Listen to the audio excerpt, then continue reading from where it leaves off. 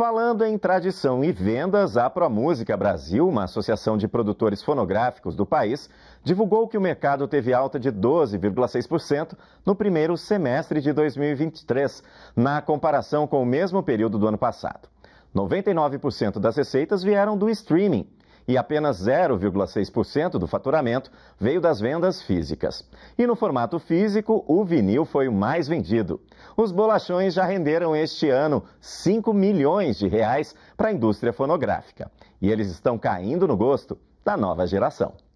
A Bianca é apaixonada por discos de vinil e sempre que pode compra os LPs. Em casa ela já tem cerca de 70 e ela diz porque os bolachões são os preferidos na hora de ouvir música. A experiência do LP ela é diferente da música digital. Ela te promove uma imersão, né? Como se você realmente precisasse palpar aquilo que você está sentindo. É, é de, muito diferente do que a gente tem hoje em dia, quando você simplesmente usa da música como uma forma de distração. O Matheus Matheus está aprendendo mixagem e decidiu visitar esta loja em Curitiba para escolher discos que, para ele, contam com uma experiência diferente. A primeira vez que eu toquei num vinil, eu já sabia que era aquilo que eu queria aprender, mesmo com mais, assim, com, com mais é, importância mesmo, né? Porque só de você sentir o mundo físico da música assim no dedo já é um negócio que dá um prazer enorme, né?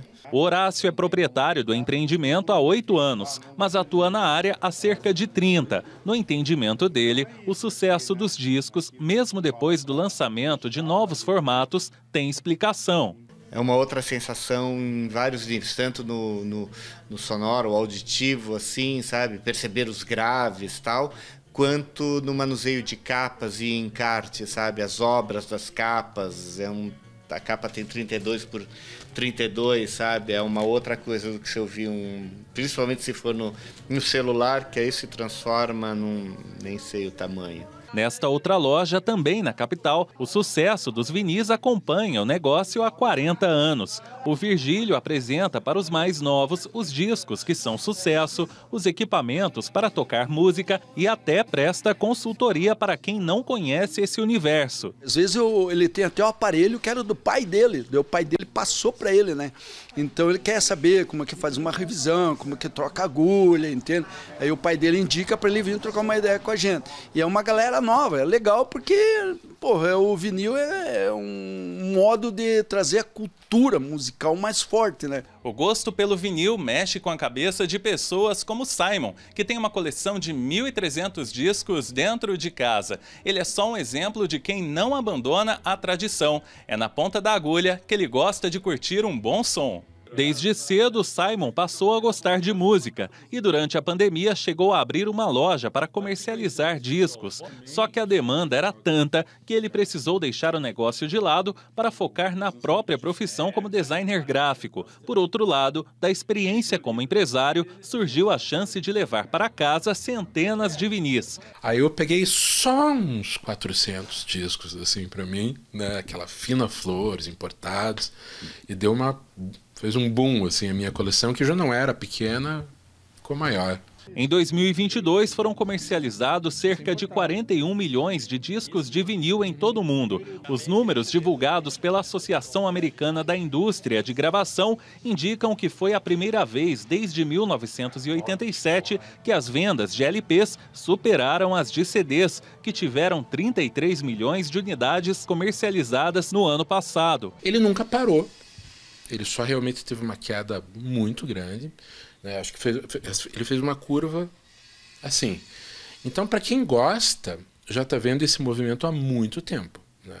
Ocorre que parece que ele entrou numa curva meio exponencial, assim, a partir do momento que eu vou arriscar aí uns seis, sete anos atrás, e começou a se tornar coqueluche mesmo. Quando você passa a entrar num supermercado grande e ver aparelhos de toca-disco, assim, você pensa, opa, isso aqui não é mais só coisa de nicho, né? Tem um, tem um mercado se aquecendo aí. Dentre os clássicos e os artistas do momento, os vinis seguem existindo e mostrando porque ainda são bastante procurados. Antes era aquela coisa em cima dos clássicos, do, do rock, do pop ou da música brasileira. Hoje está bem mais diverso e uma coisa bem bacana, tem um público feminino muito maior do que nos anos 90, sabe?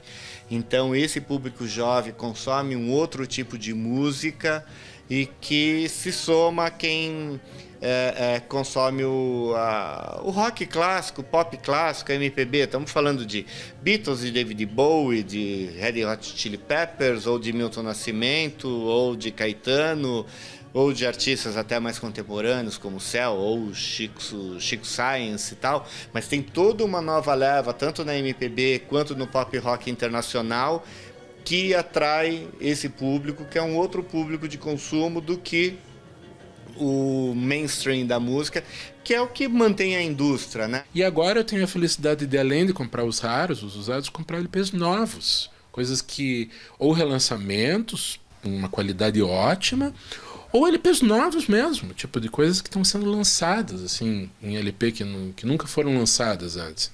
É uma alegria, é muito bom. É mais fácil do CD é, se extinguir do que o LP que está super em alta.